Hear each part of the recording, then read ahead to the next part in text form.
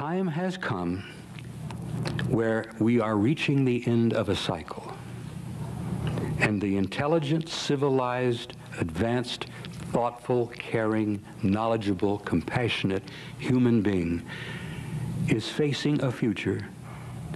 A door is being opened for them to an infinite reality out there. And we have got to be prepared to go through that door.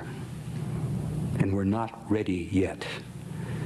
NASA decided just a few short years ago from estimates, estimates mind you, that there are 400 billion stars in our galaxy alone. Now, you know what our galaxy is like, that big spinning wheel. looks like a lot the Andromeda galaxy. Beyond that, they said that they roughly have an estimate that there are 400 billion galaxies in the known universe.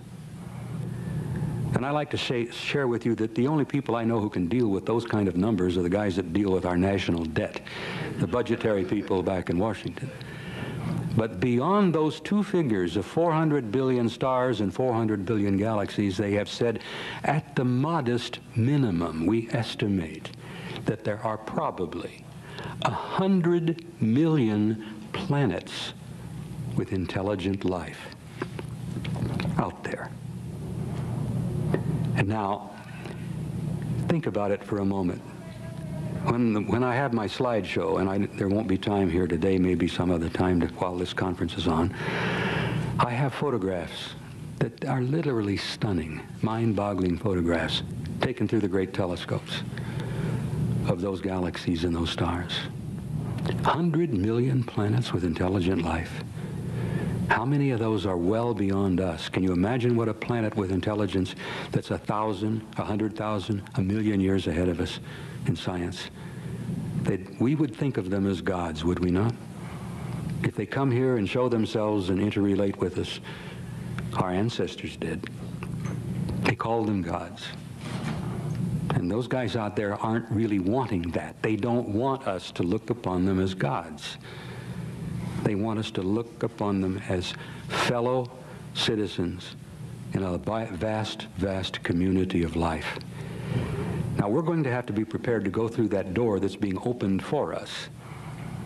And what I like to point out to you is that we're going to go through that door together. One people from one planet with one future, or we're not going to go through that door at all.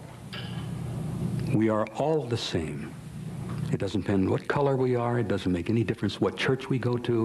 It doesn't depend in any way on what language we speak. Every human being on this planet is an immortal life form, and we're going to have to reach that understanding. The garbage and the savagery in Yugoslavia of the ethnic cleansing has got to stop. The famines have got to stop. There's enough food on this planet to feed everybody. We have got to reorder our lives so that we can take our place and go through that door and become members of that infinite, vast community of intelligent life.